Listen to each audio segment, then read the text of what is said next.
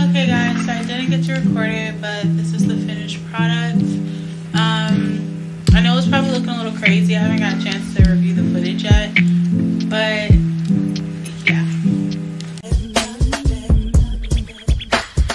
I'm so into you, I can barely breathe.